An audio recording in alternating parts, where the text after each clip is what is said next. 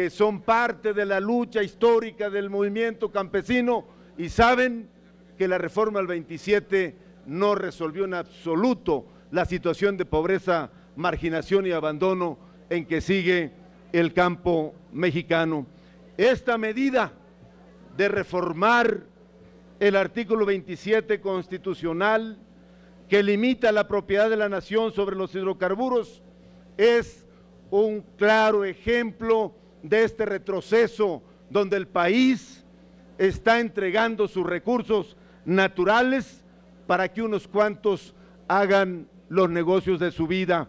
Es evidente cuando dice que una vez el petróleo extraído del subsuelo se convierte en automático en propiedad de las empresas privadas. Por eso la trampa en el artículo 27 de la Constitución de decir que los recursos del subsuelo seguirán siendo propiedad de la nación.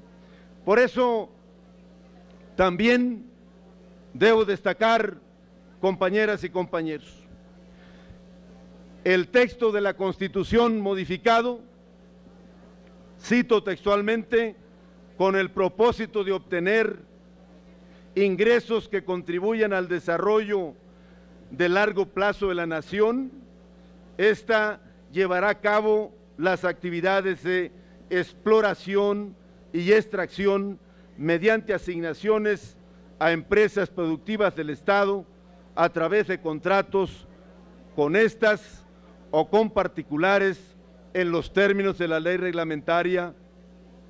Para cumplir con este objetivo, dichas asignaciones o contratos de las empresas productivas del Estado podrán contratar con particulares.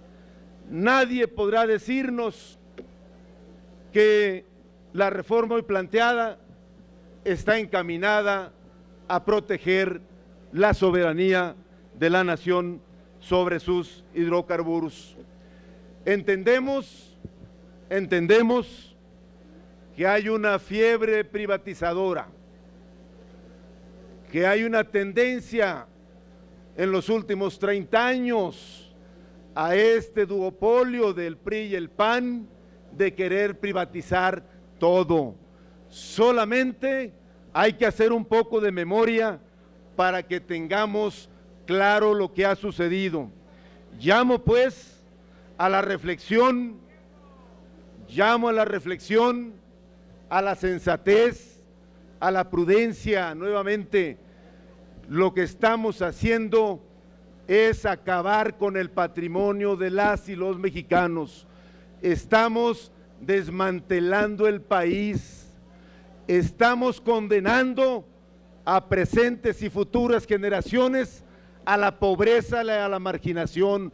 Falso es que entregando la riqueza nacional vendrá la bonanza para el país. Esa es la tesis neoliberal de que hay que reducir el Estado para que haya más mercado.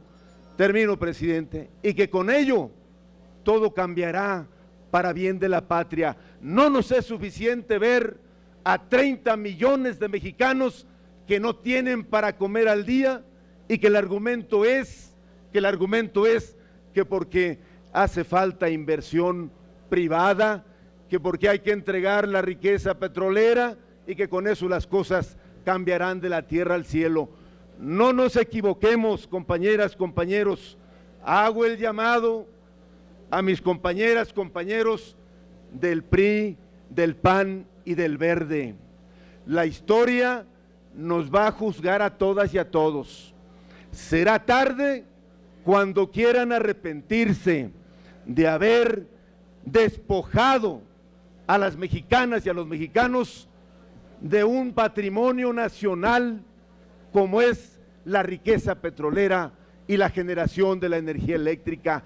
Es inentendible que el Estado renuncie a sus dos grandes sectores estratégicos, los hidrocarburos y la generación de energía eléctrica. ¿En qué cabeza cabe?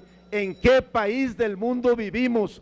Ahí están los ejemplos que luego se invocan es que Brasil hizo lo mismo. Vean dónde está Brasil.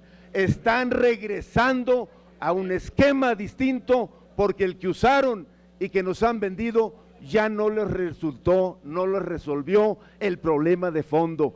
Por eso, por eso, compañeras y compañeros, estamos a tiempo, estamos a tiempo de que nuestra decisión la tomemos pensando en las mexicanas y en los mexicanos, que la hagamos pensando primero en nuestro país, primero en los mexicanos, antes que en pensar en los negocios de unas, de unas cuantas empresas privadas nacionales e internacionales que se están frotando las manos por quedarse con la riqueza nacional. Pero no va a pasar, compañeras y compañeros, no va a pasar, porque en el 15 vamos a ir a la consulta popular y ahí vamos a echar abajo esta reforma que a, todos, a todas luces va en contra de los intereses nacionales. Muchas gracias, compañeras y compañeros.